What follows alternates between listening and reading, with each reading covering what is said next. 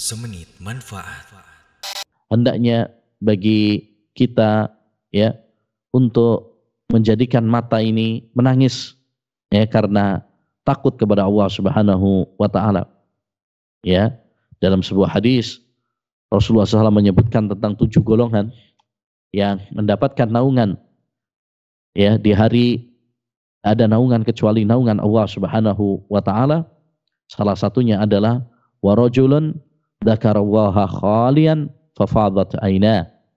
Seorang yang mengingat Allah Subhanahu wa taala saat sendirian kemudian dia ya e, meneteskan air mata merasa takut kepada Allah Subhanahu wa taala ya maka hendaknya bagi kita untuk sering-sering menangisi dosa-dosa kita ya karena itu bisa melembutkan hati kita menjadikan kita semakin dekat kepada Allah Subhanahu wa taala, menjadikan kita ya selalu ingat kepada akhirat, kepada kematian dan tidak tertipu dengan gemerlapnya dunia, menjadikan kita semangat dan berlomba-lomba di dalam kebajikan.